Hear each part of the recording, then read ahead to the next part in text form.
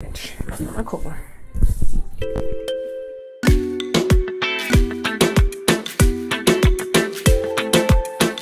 Die Autos, die Autos. Ah, jetzt habe ich schon mal warm.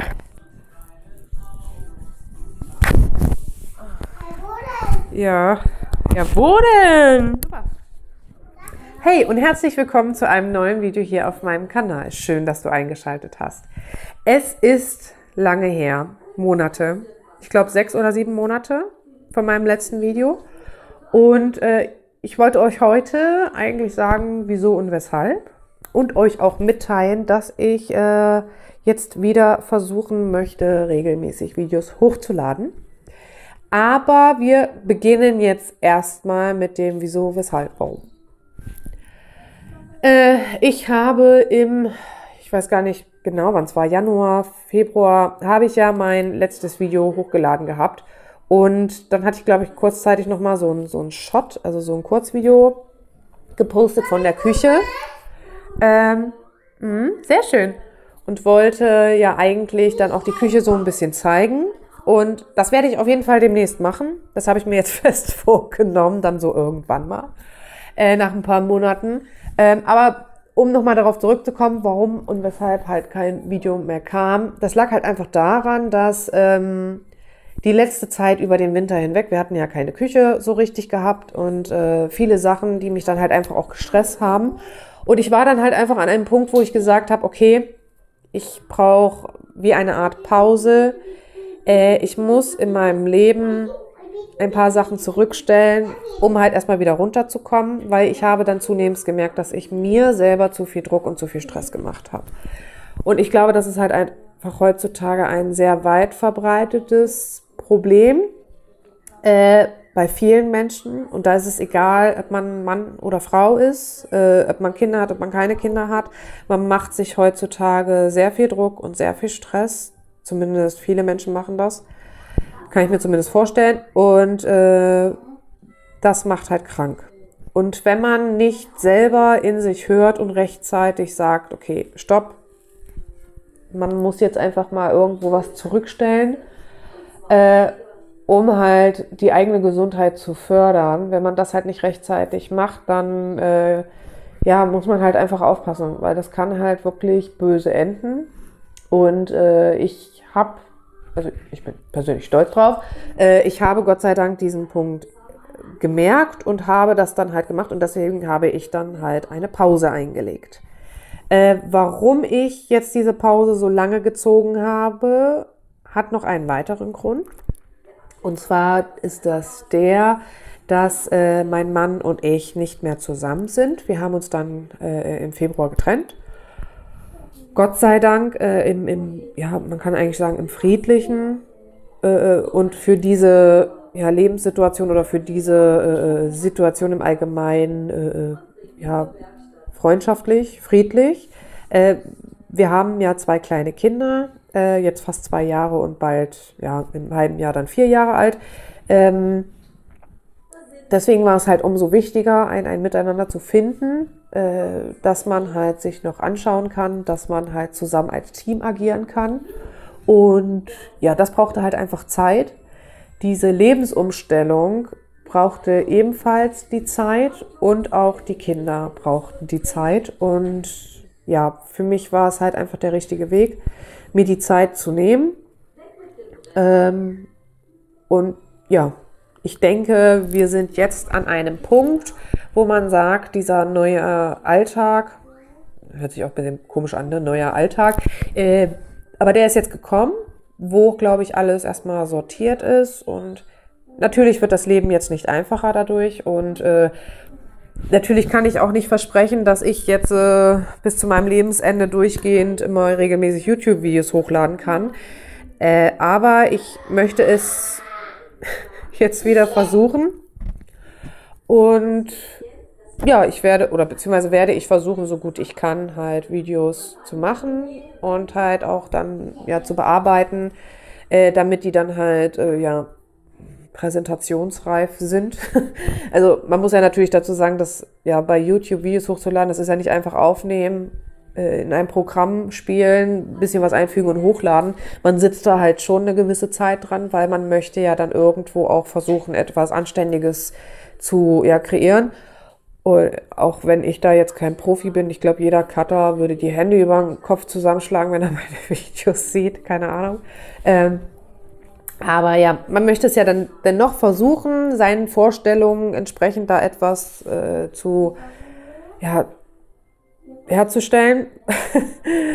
und ja, deswegen äh, äh, werde ich da jetzt versuchen, halt diese Zeit wieder zu finden. Ähm, ja, um äh, halt auf meine Lebenssituation jetzt nochmal zurückzukommen. Es ist halt so, dass ich mit den Kindern halt weiterhin in dem Haus wohne, äh, welches ihr halt zuletzt gesehen hat, habt in meinen Putzroutinen. Äh, Gott sei Dank habe ich äh, da eine so gute Basis mit meinem Mann, dass er mich halt weiterhin unterstützt und mir halt die Möglichkeit gibt, hier in dem Haus zu wohnen. Äh, ja, und, und, und halt einfach versucht auch weiterhin meinen Rücken zu stärken. Äh, also es beruht natürlich auf Gegenseitigkeit. Äh, natürlich versuche ich da halt auch so gut ihm noch beizustehen. Wir arbeiten halt auch noch zusammen und äh, haben eine wirklich sehr gute menschliche Basis, glaube ich, gefunden, in der wir richtig gut zurechtkommen, auch für die Kinder. Äh, es könnte jetzt der eine oder andere sagen, ach ja Mensch, wenn ihr euch doch noch so gut versteht, warum habt ihr euch dann getrennt? Jeder macht ja mal schlechte Zeiten durch und äh, ja, das mag so sein.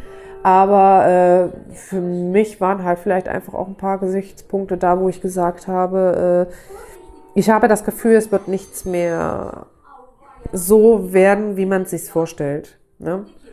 Und wenn das halt so ist, dass man selber dann in dieser Gefühlslage liegt, so zu sagen, das ist für mich nicht mehr so, wie es mal war und ich habe das Gefühl, ich kann das nicht mehr, dann ist es, glaube ich, einfach wichtig, vielleicht auch einfach so ehrlich zu sein und zu sagen, okay, komm, pass auf, äh, das klappt so nicht mehr. Ne? Ich bin wirklich sehr froh darum, dass wir nicht so eine Situation haben wie vielleicht viele andere, bei denen das dann halt nicht mehr so friedlich abläuft, äh, sei es jetzt durch, weiß ich nicht, Betrug, also Fremdgehen, häusliche Gewalt oder weiß der Kuckuck was. Also wünsche ich keinem und ich bin halt auch froh, dass ich das nicht hatte, dass wir halt beide wirklich so anständig und so respektvoll miteinander umgegangen sind, äh, dass wir halt auch wirklich zum Guten der Kinder da irgendwo diesen Weg gefunden haben oder diesen Weg gegangen sind, denn äh, auf Krampf irgendwo was versuchen zu halten für die Kinder, das ist halt nicht mein Weg, den ich gehen möchte oder gehen wollen würde. Ich bin selber äh, Scheidungskind, ich habe es selber erlebt. Gott sei Dank haben es meine Eltern auch vernünftig und respektvoll hinbekommen. Und äh, für diese Situation, ja, ich sag jetzt mal angenehm, ich hoffe, ihr wisst, was ich meine. Und ich bin auch froh, dass mein Mann und ich das hinbekommen haben für unsere Kinder.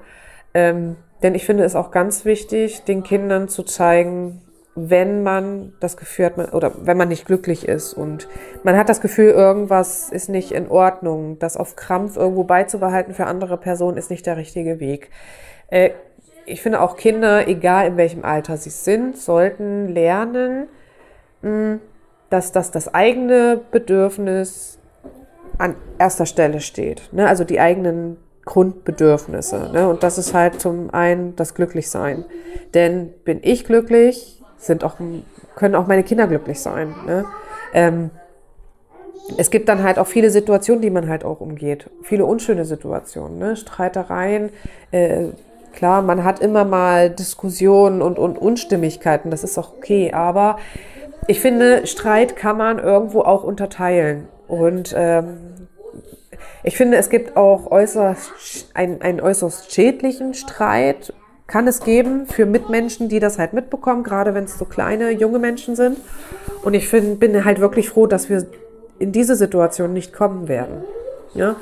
Und dass die Kinder halt einfach weiterhin Mama und Papa haben, zu jeder Zeit. Ne? Also wir haben halt ein, ein, ein, ein, ja, ein, ein Grundbesuchssystem, ne? also so dieses zwei Wochen, typische zwei Wochen Rhythmus, aber äh, so bald irgendwie von welcher Seite auch immer, sei es den Kindern oder der Papa, ähm, sollte da irgendwo das Bedürfnis zu stehen oder das Bedürfnis sein, äh, sich sehen zu wollen, werden wir das auch ermöglichen. Ne? Also äh, wenn die Kinder halt das Gefühl haben, sie, sie, sie vermissen ihn dolle, sie möchten ihn sehen, dann ist das für mich keine Frage. Äh, dann dürfen sie ihn auch sehen, dann dürfen sie ihn auch besuchen oder halt auch bei ihm übernachten, wie auch immer. Und andersrum ist das genauso. Ne? Also wenn es ihm da halt irgendwo danach äh, äh, oder ihm danach ist, seine Kinder sehen zu wollen, dann jederzeit. Ne? Gut, es sei denn, man ist jetzt vielleicht irgendwie im Urlaub, dann geht das natürlich nicht. Ja? äh, aber ja, wir haben da halt einfach eine, glaube ich, eine super gesunde Basis gefunden. Und ja, und ich bin froh oder und ich hoffe auch sehr stark, dass wir das beibehalten. Äh, dass das natürlich nicht einfach ist, man immer mal Situationen hat, die unschön sind oder, oder was heißt unschön sind, die halt vielleicht unangenehm sind. Aber ich denke, da muss man dann halt irgendwann auch einfach drüber stehen und sagen, okay, pass auf, komm. Wir haben einen Lebensmittelpunkt, der uns für immer verbinden wird.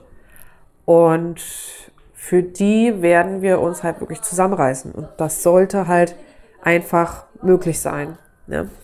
Äh, äh zumindest in diesem gesunden Mann. Ich weiß, dass es äh, äh, bestimmt ja, Situationen gibt, wo man froh ist, wenn dann vielleicht der eine Partner nicht mehr da ist, wenn es um die Kinder geht. Ne?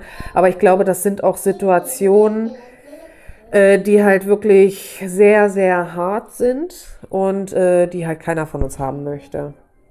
Aber ich bin prinzipiell halt immer ein Mensch, wenn es möglich ist, was, was, was jetzt in der, im sozialen Umfeld, den sozialen Umfeld betrifft, dann sollte man das halt immer ermöglichen. Denn im Endeffekt, es geht um die Kinder und man hat als Elternteil eine Verantwortung zu tragen und ja, Deswegen machen wir das. Ne? Das dazu. Jetzt wisst ihr, warum meine Pause so lange war. ja, um halt wieder einfach in diesen Alltag zu finden. Genau. Wie gesagt, also ich, ich wohne hier mit den Kindern jetzt äh, und den zwei Hunden, Aria und Kayo. Äh, Aria ist ja meine Hündin, die habe ich ja von auch mit damals mit in die Beziehung gebracht. Äh, deswegen stand es für mich außer Frage, dass sie bei mir bleibt. Und äh, ja, der Kayo war eigentlich ja von meinem Mann, der Hund. Er konnte ihn jetzt aber einfach nicht mitnehmen. Die Lebenssituation oder die Veränderung ließ es halt nicht zu. Und aufgrund, dass äh, ja mein Sohn, der Liam, äh, sehr, ein sehr enges ja, Verhältnis zu ihm hegt, also man merkt das sehr, dass sie sehr aufeinander abgestimmt sind, ähm, habe ich mich dazu entschlossen, ihn zu behalten. Und ja, ich weiß, das ist ein sehr, sehr großes Paket, was ich hier trage und äh, mit, ich sag's jetzt mal, vier Kindern. Und dem allen gerecht zu werden, ist wirklich äußerst, äußerst schwierig, denn ich arbeite auch noch. Äh, oh, schick. Ja. Umso wichtiger ist es halt auch zu erwähnen, dass ich natürlich nicht alleine damit äh, dastehe, denn äh, ich habe wundervolle Menschen als Nachbarn, äh, die mich da unterstützen und mir helfen. Äh, meine Nachbarn, die äh, äh, schnappen sich den Kajo dann halt auch mal und fahren mit ihm Fahrrad regelmäßig. Und darüber bin ich halt, halt wirklich dankbar. Und das ist halt auch mit so einem Punkt gewesen, warum ich mich dann halt dafür entschieden habe, Kajo zu behalten. Äh, zum einen das und zum anderen, weil ich halt einfach ja mental nicht in der Lage wäre, ihn abzugeben. Äh, weil ich hatte diese Situation schon einmal und äh, das war für mich eine Herzensbrecheraktion. Äh, das tat mir unglaublich weh, auch wenn ich weiß, dass es dem Hund heute wahrscheinlich unglaublich gut geht. Äh, aber ja, ich werde, wie gesagt, alles dafür tun, dass es auch den Hunden hier gut geht und es ihnen an nichts fehlt. Bei Aria ist halt der Vorteil, sie ist halt, also was heißt der Vorteil, sie ist halt schon älter. Ja, der Tag wird immer näher rücken bei ihr. Äh, aber da denken wir jetzt nicht dran. Äh, aber sie ist halt schon älter und sie ist halt einfach wirklich eine enorme Couch Potato. Also sie ist halt wirklich so eine, komme ich nicht heute, komme ich morgen. Für ihre Rasse komplett untypisch, glaube ich. Äh, aber wie gesagt, ein sehr ausgeglichener Hund äh, oder eine sehr ausgeglichene Hündin. Und ja, Kayo ist natürlich noch so ein haudegen Sportskanone. Er ist wie gesagt auch noch ein Junghund. Er ist ja jetzt, äh, er wird jetzt halt Silvester erst zwei Jahre alt. Und äh, da bin ich halt auch froh drum, dass halt meine Nachbarn mir da helfen. Ja, das ist jetzt so mein verrücktes Leben, my crazy life. Äh, ja, Und wie gesagt, ich bin jetzt halt drauf und dran, oder ich werde mein Bestes versuchen, wieder Videos zu machen. Äh, es wird ums Putzen gehen. Wie immer, äh, vielleicht versuche ich auch wieder ein bisschen mehr Kreativität mit reinzubringen. Ich weiß nicht, ob man es sieht, aber äh, ich habe ja auch so ein bisschen angefangen zu malen. Also gemalt habe ich schon immer gerne, aber halt mir auch mal Leinwände zu kaufen und zu, ich weiß gar nicht, ob man sie sieht. So da, ne, sind meine Kinder. äh, waren so meine erste Versuche. Also ich bin halt wirklich jetzt kein Picasso, ne? bitte nicht zu viel erwarten. Äh, das ist halt so, wo ich jetzt halt gerade so ein bisschen auch meine Finger im Spiel habe, weil ich gerade Lust dazu habe. Das Ding ist halt bei mir, ich bin halt so ein sehr sprunghafter Mensch, was so Hobbys angeht. Ne? Also ich, ich wechsle immer sehr viel zwischen meinen Hobbys, sei es das Malen, sei es, äh, äh, mal vorsichtig, Schneckchen. Äh, ja, Vorsicht sei es das Malen, sei es das äh, äh, äh, Nähen. Ich nähe ab und an auch gerne, vor allem in den dunklen und kalten Jahreszeiten. Ich glaube, das ist irgendwie auch, ist das so ein bisschen, ich glaube, das kommt so ein bisschen so ein Stecken. Genau. Ne? Ich möchte halt gerne auch versuchen, von meinen kreativen Hobbys vielleicht wieder so ein bisschen was mit reinzunehmen. Wie gesagt, backen, kochen mache ich ja gerne. Ähm, wie gesagt, nähen zu den kalten Jahreszeiten, wo ich ja glaube, dass das so ein bisschen also eingefleischte Näher nähen wahrscheinlich das ganze Jahr über. Aber für mich ist es halt irgendwie immer so zu diesen kalten Jahreszeiten hin, äh, äh, hole ich dann gerne meine Overlock oder meine Nähmaschine raus. Und ja, mal gucken, was ich da dann so finde, so, ne, an Basteleien und so, äh, wovon ich dann vielleicht auch wieder gerne so das ein oder andere Video machen möchte. Und ja, ich mag das ja immer so, diese Vielfältigkeit. Und ich finde es halt auch wichtig, dass man sich auch immer mal an neue Sachen rantraut. Und kann man gleich Süße. Ja, das dazu. Und dann hoffe ich, dass wir jetzt halt wieder weitermachen können, da wo wir aufgehört haben. Und ja, wenn ihr dabei sein wollt, dann würde ich mich riesig darüber freuen. Und äh, wenn ihr mich da unterstützt, äh, ja, wie das geht, wisst ihr ja wahrscheinlich. Wenn euch das Video gefallen hat, lasst gerne einen Daumen nach oben da.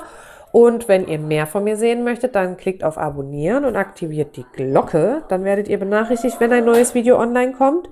Und jetzt hat Aria Hunger. und ja, dann sehen wir uns hoffentlich zum nächsten Video wieder. Und bis dahin, macht's gut. Ciao.